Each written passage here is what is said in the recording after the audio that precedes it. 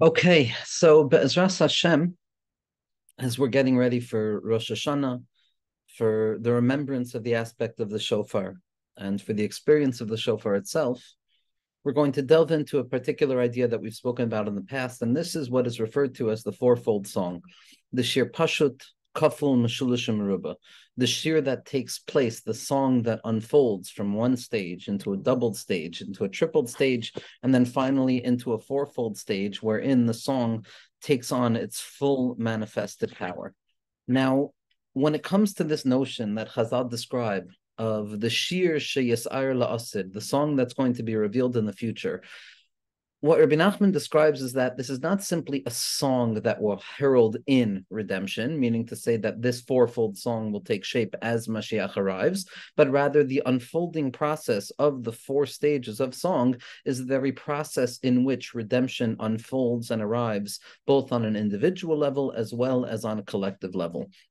And then when it comes to the collective level, when it comes to the hisairus of geula that takes place through this progression through the four stages of experience, we're going to leave aside for a moment because when it comes to the macro level, we have less of a grasp in terms of what it means to engage it practically. But what we can utilize is to index the actual arrival of Mashiach by engaging with the practical revelation of redemption within the self.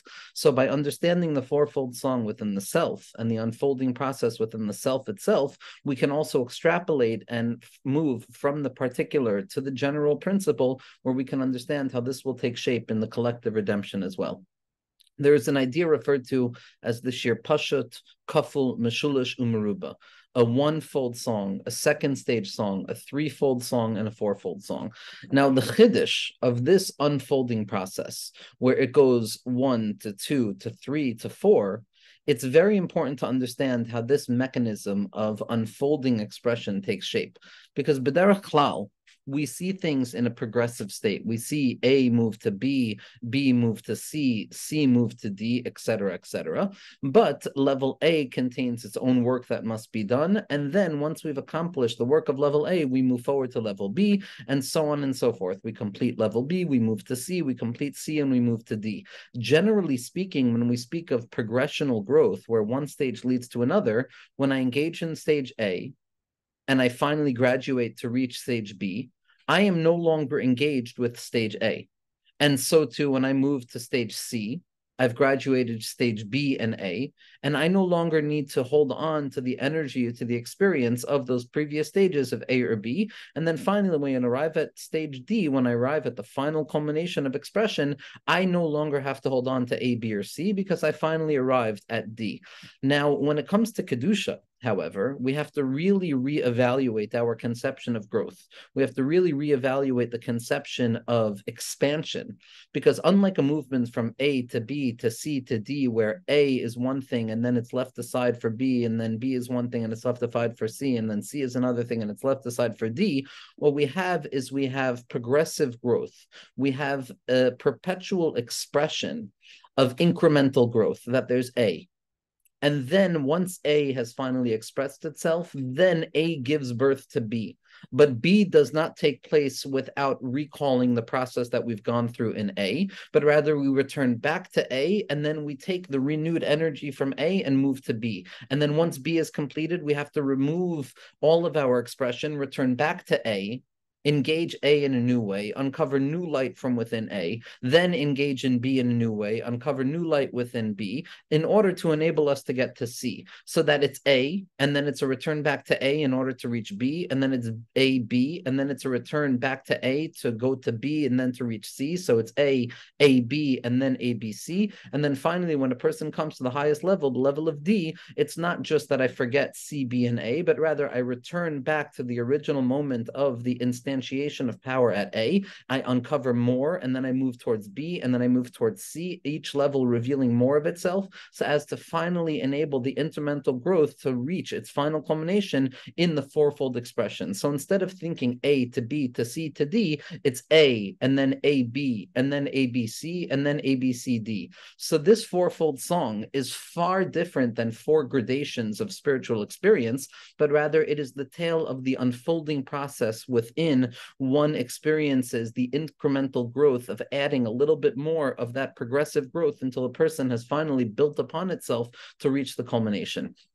Now, this notion of the A, the AB, the ABC, the ABCD is expressed in accordance with the Arizal as taking place in the worlds that we experience. We live our lives in a four staged process. We live in the construction of four worlds, four frameworks through which we perceive reality. We live in the world of Asiya, which is the beginning process. We live in the world of Yetzira, which is then developing the action into a state of emotion. We live in the world of Bria, which is taking the state of action, then allowing it to move through a state of emotion in order to come to a place of contemplation. And then we live in the world of Atzilus, which is action, emotion, contemplation, and unity. So B'derech Klal, we see each level not only as a standalone experience, but rather as something that is being built upon itself incrementally. So the first song, the singular song is going to be the first expression of self, where I move a little bit forward. I uncover a little bit more within myself. And then naturally, instead of the desire to move forward, I retreat backwards, retreat backwards in order to realize that the experience I previously just had,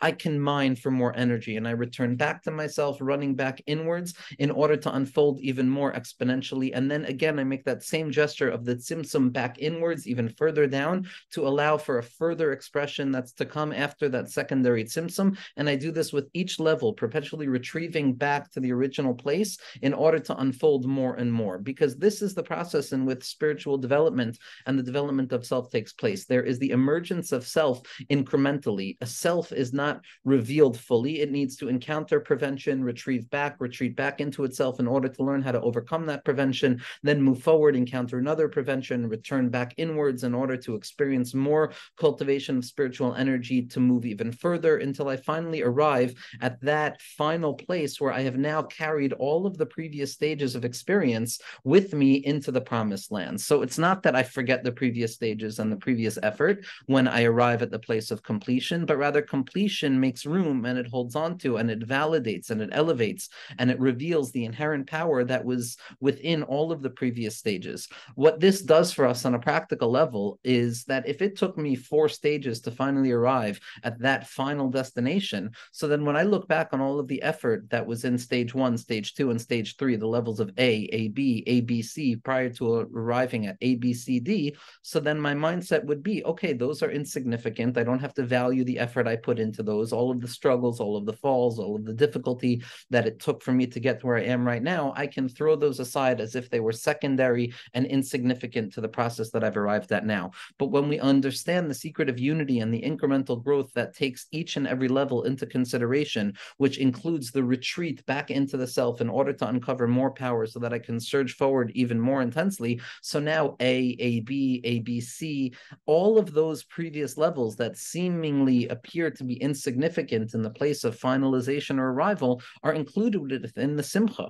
Because without A or without AB or without ABC, there's no possible way I would have ever arrived at ABCD. Without the sheer Pashut Kaful Meshulish, there's no way that I would have arrived at the sheer So this secret of the fourfold song of the one, the one, two, the one, two, three, the one, two, three, four, this incremental growth, the secret is that we retrieve all of the earlier levels, helping us understand that anything that seems as as if it were insignificant in our spiritual process, because I haven't yet arrived at the desired destination, and those were more immature stages. Instead of, God forbid, thinking that those are secondary and insignificant, they are included within the unity, which now ennobles the new the unity and it allows the unified process to become more intense and more powerful because now I have all of those previous stages within me as well.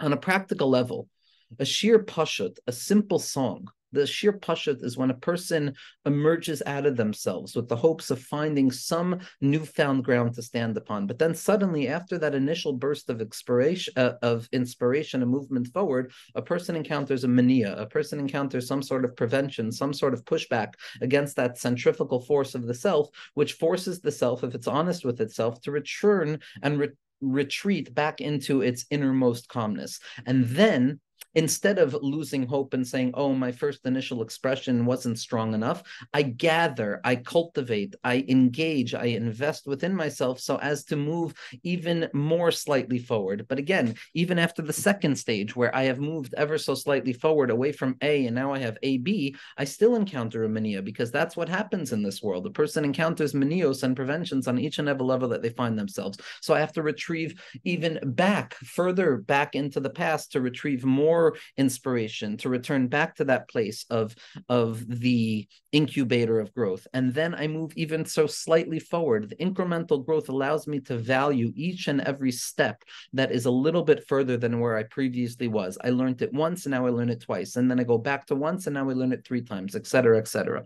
And then finally, when a person finally arrives at the culmination of their experience, where they feel that they arrived to where they finally need to arrive, the fourfold song, the fullness of the song, and the full expression of the self in contact with Hakadosh Baruch Hu, the world, and other people. At that point, I feel the fullness, but the fullness is now not simply it's the fourth level, but it's the fourth level that is saturated with the intensity of all of the previous incremental stages of growth and the running and the returning and the feelings of inability and the feelings of the need to retreat. All of those spiritual expressions are not wasted, God forbid, but rather they are included within the spiritual process itself. This is the secret of the fourfold song. the Shir Pashat, Kafel, Mashulish, Meruba, the one-fold song, the doubled song, the threefold song, and the fourfold song. Now, Be'ezras Hashem, we find something incredible because when it comes to Rosh Hashanah, when it comes to the Zman of what it means to renew a year, in truth, like we've spoken about already, we are at the death of the year. We are at the point where the year has expired its energy and it leads us into a place of avoided state. The vitality, the highest of the world is done. There's not enough in order to allow the year to perpetuate itself, and we need to return back to the beginning in order to uncover that deep infinite strength that rests in the stage of potential prior to actualization. So on Rosh Hashanah, what we're doing is we're returning back to the place prior to the emergence of change, back to that place of simplicity, like the kol pashat of the shofar, which allows me to be in a stage of ibor, to be in a state of pure potential prior to expression. And this Zman of Rosh Hashanah, as the Tzemach Tzedek says, as all of the tzaddikim point out, this is why Rosh Hashanah is Bekeser Liyom Chagenu. Rosh Hashanah is not a time of excitement or spiritual intensity, but rather it's a time of minimization of my spiritual capacity. It's a Zman of Dormita, it's a Zman of unconsciousness. It's a place where my natural and typical strengths of spirituality are not activated, and I find myself in a stage of unconsciousness. And it's specifically there, like we said in the name of Rav Simcha which is is the secret of Rosh Hashanah, where a person comes to find the unbearable light of Hakadosh Baruch Hu. But it's specifically within that low place. It's specifically Zayom Tchilas Ma'asecha. This is the beginning of Olam Ha'asiyah. This is the beginning of concealment. Or Bekesel Yom Chagenu, the Zman of Kisoy. Om Hayom Haras Olam. This is the day of the impregnation of existence. Zaktat Tzemach Tzedek. He'elam is Melashon Olam, and Olam is Melashon He'elam, which means to say that Rosh Hashanah is the beginning of concealment, which means means that the entire perspective that a person has on Rosh Hashanah is this willingness to move forward, but to realize the fundamental reality of retreating backwards. But the retreat backwards is not a negation on that movement forward with hope, but rather it is a doubled expression of the vitality and the unwillingness I have to give up any inch of spiritual growth. I include within it every stage one, one, two, one, two, three, one, two, three, four. As Rabbi Nachman says, this is the or of tinus. Tinus is every moment that I fast, I have to return back to that original moment and fast another moment. And then I return back to the next moment and I fast for a third moment, which means that every Zman of tinus becomes more intense because I am collecting now all of the previous moments. So too, it's true in Avodah Hashem, every time I return back to myself, into the inner states of myself, in the pure state of potential, I uncover an untapped reservoir of infinitude that rests within me. I am moisif v'hoilech, as we're going to see in Hanukkah as well, in accordance with Beis Hillel. Now, this Indian of the Shir Pashat Kafel Mashulish Meruba is the Hisairus of Geula. It's the Shir Sheyas Ar Asid. Because right now, when we find ourselves in a stage of exile, we find ourselves perhaps at the first extension of self, and then this first retrieval, and then the first return back into self, and then the second extension of self, and then the second removal back inwards. And we are consistently trying to push the boundaries of our spiritual capacity, to push ourselves ever so slightly forward beyond what we conceive to be our self contained and self self limitations and self limited beliefs in order to push it ever so slightly forward, where we can show ourselves over and over. We could be moitzer nefesh a little bit more, a little bit more, a little bit more. But in the Zman of Geula, when there's going to be the sheer Maruba, the fourfold song, we're going to find the fullness, the the the quad, the quad nature of reality's extension, one, two, three, four, like the four letters of the Shem Havaya, which is going to represent the full expression of the human being's capacity from within the limitations of this worldliness, where it was not a forgetfulness of the previous stages of small mindedness, but rather an inclusion of those previous stages of small mindedness with the revelation that each and every stage and moment of small mindedness was fundamental and necessary within the building blocks of spirituality, reminding us to always take every act of our spiritual experience seriously, never to belittle, never to negate the value of even the slightest gesture in Avodah Hashem. Now, we find something radical. There's a radical notion that the tzaddik Rav Yitzchak Meir Morgenstern Shlita says over in the name of the Toras Chacham, based on a strange notion that comes about in the kavanos of the Arizal when it comes to Biyado Afkiruchi by Kriya Shema Alamita. We find something incredible because until now, what we've been talking about is that this single song, doubled song, threefold song and fourfold song is a process of moving from small expressions of spiritual growth towards the fullness of spiritual growth. So we would expect that as these four levels unfold, that each and every increment level where that increment is added, that now A is one thing, but AB is going to be higher than A, and ABC is going to be higher than AB, and ABCD is going to be higher than ABC. But what the Arizal points out, and the Toras Chacham has a Heilige Heilige Ha'ar on this, and the Rebbe makes a huge asek out of this Nakuda is that really this fourfold song, why is it that all of reality can be composed into a fourfold extension of itself? It's because the ground of being, the source of being, the saturating light of being, and the inner light of being is ultimately the Shem Havaya, the Yud K, the Vav, and the K. The Yud, which represents Chachma, Kaduma, it represents the burst of insight that first and foremost comes from the Kutza Shal Yud, the first insight of pleasure rooted in desire and desire rooted in pleasure, which then unfolds into the Hey, which is Bina, which is understanding, and from there it goes into the Midos, which are the Zer Anpin of Chesed, Gvur, Tveres, Netzach, and Yesoid, and then it goes into Malchus. So we see that there's the yud, there's the yud hey, and there's the yud hey vav, and then there's the yud hey vav hey, and we would expect the yud hey vav hey obviously to be the fullest extension of what can be found in this reality, and that's the ideal. But what we find is that the Arizal points out something profound that when looking at this fourfold unfolding process of spiritual development, these four stages also align to the four worlds of experience. And what the Arizal brings to us is somewhat of a reversed conception of things, because we would expect that the lowest level is just the Yud, and that that Yud would be the world of Asiya, and then the Yud Hey would be Asiya and Yitzira, and then the Yud Hey Vav would be Asiya, Yitzira, and Bria, and then the Yud Hey Vav Hey would be Asiya, Yitzira, Bria, or Atzilus. In language of psychology, we would assume that the Yud represents my willingness to be active, the Yud Hey represents my willingness to engage in action with some development of emotional, spiritual connection, which then leads to the Yud Ke Vav, which would be the entrance into the world of Bria, in addition to Asiya and Yitzira, which would then be action with some emotional content within it, rooted in a contemplation of divine unity. And then finally arriving at the full culmination of fullness, which is the fourfold song. It's the action that is imbibed with the emotional strength of the hay, which then enters into the place of emotionality, uh, of, of hisbaininus, of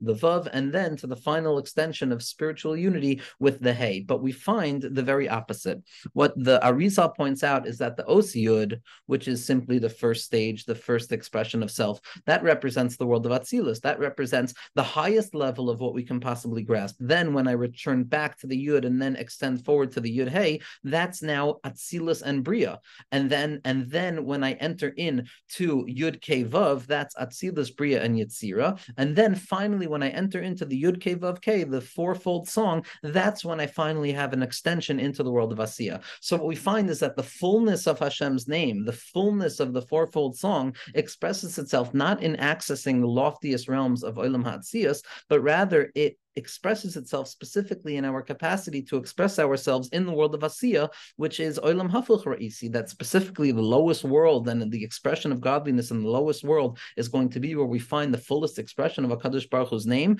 while the first stage of the Yud, which is the lowest level of expression, is going to be associated with Olam Ha'atzilus. It's an Olam Hafuch Ra'isi, Lamata that which is above is below. The world of Atzilus seems to be associated with the first stage of the extension of the Yud, while the world of Asiya, which is the lowest world, seems to be associated with the full expression of the Yud K Vav K. And the Toras Chacham points this out. And the Toras Chacham asks the question of how could it be? How could it be that the fullness of Hakadosh Baruch Hu's name is expressed specifically when we gain access to the lowest world? It should be the opposite, that the fullness of expression brings us to the highest world. And what the Rebbe adds, in order to make this question even starker, is the fact that when you look at the Kedusha of the Shem Havaya, there are many Meforshim who say that if you write Yud, Yud K, or Yud K Vav, that's not nechshav as Kedusha Hashem, meaning those levels don't even represent a fundamental expression of holiness that is rooted in a halachic framework of this name representing the Shema Etzem. Yes, Yud is a powerful letter. Yes, Yud K in of itself is a name of Hakadosh Baruch Hu. But if I'm writing the Shem Havaya and I only write the Yud, the Yud K or the Yud K Vav, there are Meforshim who say that there's no Kedusha Hashem there. So that just adds to the question: How could it be that the full Kedusha of the Shem Havaya, the full extension of the self in all four areas of action emotions, contemplation, and unity, how could it be that that only extends itself and only takes on any element of Kedusha, specifically when it extends itself into the lowest place imaginable? And what the Toras Chacham responds, and what the Rebbe builds his entire framework upon, and what Rabbi Nachman is building upon as well in the secret of the Tikkun Klali, which is also referred to as the Shir Pashut Kafel Mashulish Meruba, because it's the Asara Mene Nagina, and 10 is the unfolding of 1, 2, 3, and 4, because 1 plus 2 is 3, plus 3 is 6, plus 4 is is 10, which the Gra points out, all numbers are contained in 10, which means all numbers are contained in the first four stages of unfolding, one, two, three, four, which equals 10 as well. And how could it be that it's fully expressed finally in the world of Asiya?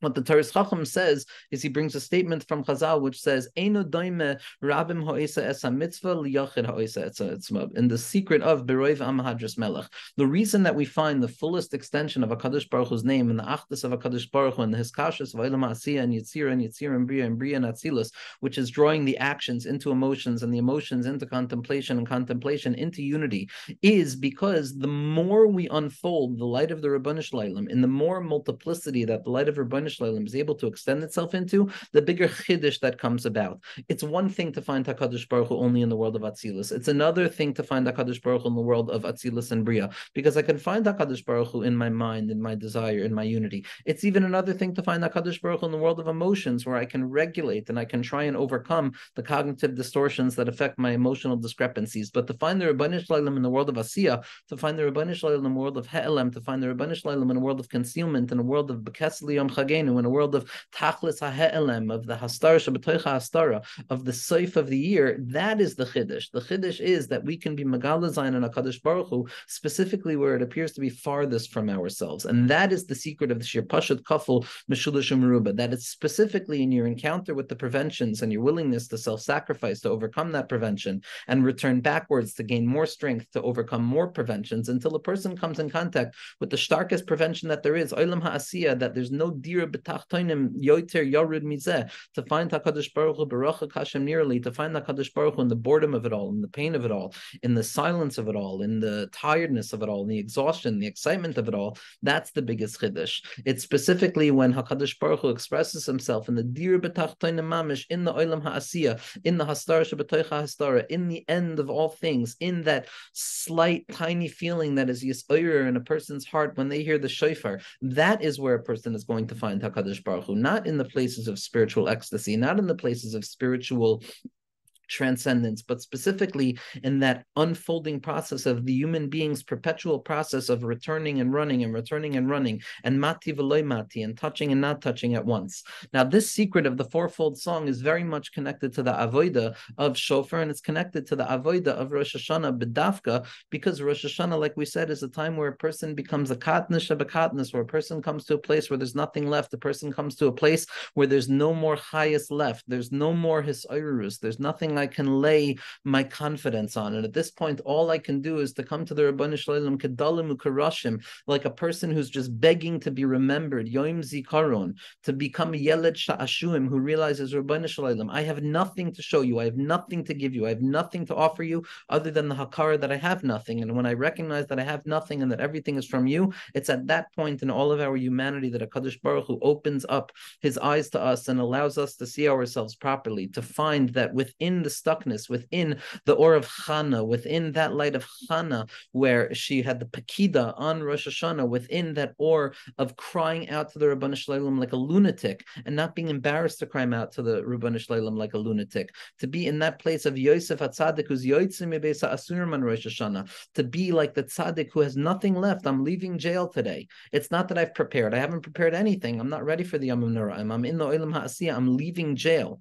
But it's specifically in that place where a person is leaving the base Asurim of their lives, where I consistently push myself forward and I come to understand the secret of Hashem. You want me down here specifically because when I am mamluch you on myself in the Hastara Shabbatoicha Hastara, in the darkness that's doubled over, in that place of Meracha Hashem Nirali, in that place of Tachlis HaHe'elem, of Hayom Haras Oilam, in that place of He'elem Ha'atzmi, in that place of not being able to grasp anything whatsoever, not this year, not the last year, not the year after, not all of the previous years, where there's a of a certain level of this year is not going to be any different. It's specifically there that a person has the capacity of being Mamlech HaKadosh Baruch Hu and all of the yeyosh and all of their distance and all of their struggle. And this is the or of the shofar. This is why the shofar comes about. Min Hameitzar Karasika. It comes out from that place of the desire. Hashem, I'm in such a constricted state that the only thing that I can possibly ask you is to tear all of the concealment asunder. Do not give me strength to face the concealment anymore. It's not enough. I need you to tear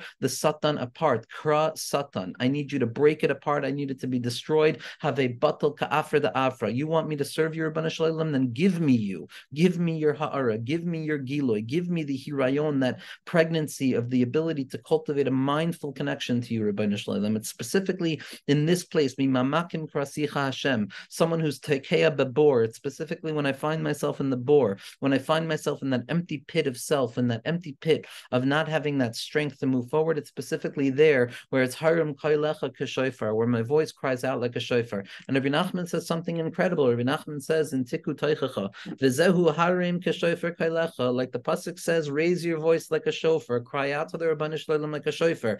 Ka shofar is osios chof shin pei reish daika. Why? Kizeh hakoil hamashke asagan. It is specifically this voice that operates like the shofar that is the ability of irrigating the garden, the garden that lays fallow, the garden that has no more growth, that garden that has been twisted and covered over by itself. It's specifically that Gan where we transform that place of Gehenna into Gan Eden. We have to learn how to irrigate that Gan and to allow it to grow with Mayim Amukim Eitzos Blevish, the Mayim of the Tzadikim Elyonim. It's specifically the Shofar, the Bechinas V'Nahar Yoitzimi Eden. The Nahar is that voice that comes out of Gan Eden. Lahashkois Asagan. What is that Nahar who Bechinas Koil Hanigun. It's the song of that cry. It's the song of that song. Which nigun is the shofar? It's the nigun of the shir sheyas ayr la'asid. It's the revelation of the song that's going to be revealed in the future when all of the moments of disintegration are shown to simply be preparations for further integration. Because, like we said, every mania serves as the opportunity to return back into myself, to uncover more strength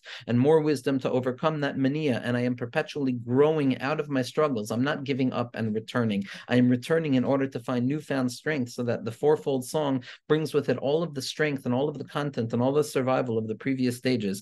And this secret of the Shir Sheyasar La'asid, when Hakadosh Baruch Hu allows us to redeem our worlds and Hakadosh Baruch Hu redeems his world and all of the concealment, the Oilam is transformed into a place of revelation. That secret of one, one, two, it's revelation that meets concealment and then it's a return back to that place prior to concealment in order to bridge that gap and to move forward into further revelation and then concealment and then a further revelation. That's the secret of Hakadosh Baruch Hu being mechadesh as oilam, hayoim haras oilam to renew our world. Shu b'china shir pashut, the first expression, shir kaful, the doubled expression, shir mashulish, the triple expression, v'shir meruba, the fourfold expression, yud yud ke yud ke vav yud ke vav ke, v'zek kishoifar. This is what it means. Kishoifar kolecha chaf shin peiresh reish teva says Rabbi Nachman pashut kaful shalish v'ribua. That the secret of the shofar itself is this secret of the single song song, the doubled song, the threefold song, and the fourfold song, encountering spiritual growth, encountering prevention, returning back, but without yeyush, but rather hope,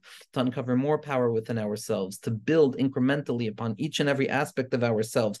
When we can uncover this secret, that's the shear of la'asid. Because what's the shear of la'asid? La'asid is not going to be finally you've arrived at the future, now you can forget about the past. God forbid. The tachlis of everything is to reach the future so that we can then retrieve back that which happened in the past and we can retroactively understand that everything that I'm experiencing now in the future was available to me in the past. And that's Yom HaZikaron, that's the time of memory where I can remember the future even prior to its arrival. Each and every aspect of expression, Yud, is a taste of Olam Haba. Yud K, a taste of Olam Haba. Yud K Vav, a taste of Olam Haba. And Yud K Vav K, a taste of Olam Haba. Every ounce of spiritual expression, every ounce of desire, nothing is lost. No positive expression of self, no expression of self is ever lost. Rosh Hashanah, as we're going to discuss tomorrow, but Ezras Hashem is a day of the irreducible trace that gets built upon from year after year after year. Rav Hutner Ganalenu in in in Maimer Chaf in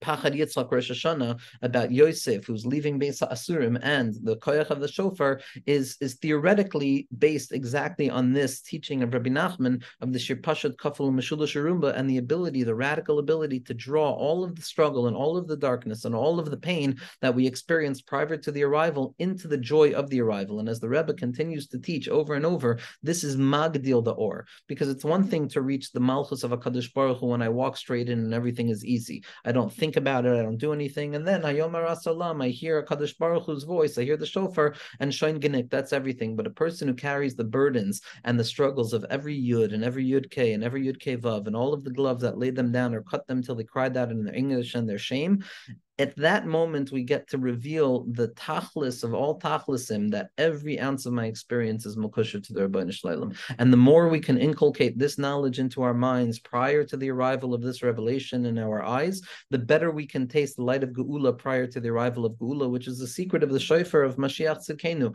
It's the ability to live Olam Haba in Olam Hazeh, the willingness to be like the Chacham, Haroya Esanoila, to see even though I'm only at the Shem Yud right now and I'm encountering preventions, this little yud is going to be a yud k, and then it's going to become a yud k vav, and then it's going to be a yud k vav k. And this is the secret of the tikkun klali, which is based on the very same principles because it's about starting again over and over and over and over again, renewing hope, renewing hope, renewing hope, renewing hope, and allowing the hopelessness that stands as the separation between the first stage of hope and the second stage of hope to not serve as an interruption to those stages of hope, but rather to transform the hopelessness and the darkness itself into a ma'avar, into a bridge, into a gesher tsar ma'oid ma'oid because when I realize I'm on that ma'avar and I realize I'm on that gesher tsar ma'oid ma'oid, and if I can come to a place of not being afraid because I realize that this feeling of distance is not going to last forever because the only thing real is the feeling of iskashrus, then memela, all of those moments of difficulty are going to be transformed into light, an unbearable light of Rosh Hashanah, of Rosh Hashinoi, of iskashrus amitis to the shir pashat kafel meshulish meruba,